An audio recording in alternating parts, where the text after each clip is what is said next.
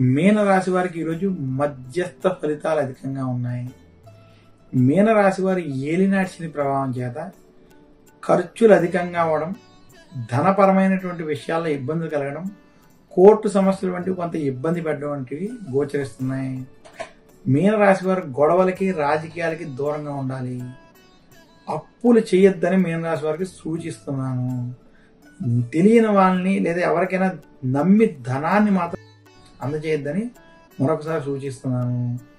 మీనరాశి ఉద్యోగస్తులకి ఈరోజు మధ్యస్థ ఫలితాలు వ్యాపారస్తులకి కొంత మధ్యస్థ నుండి చెడు ఫలితాలు అధికంగా ఉన్నాయి. మీనరాశి విద్యార్థులకి ఈరోజు అంత అనుకూలంగా లేదు. మీనరాశి రైతాంగం సినీ రంగం వంటి రంగాల్లో ఉన్నటువంటి వారికి మధ్యస్థ నుండి చెడు ఫలితాలు అధికంగా ఉన్నాయని సూచిస్తున్నాను. మీనరాశి వారు మరింత శుభ ఫలితాలు పొందాలి అనుకుంటే వెంకటేశ్వర స్వామిని పూజించడం విష్ణు సహస్రనామం వంటివి పఠించుకోవడం దక్షిణామూర్తిని పూజించడం వల్ల మరింత శుభ ఫలితాలు కలుగుతాయని తెలియజేస్తున్నాను.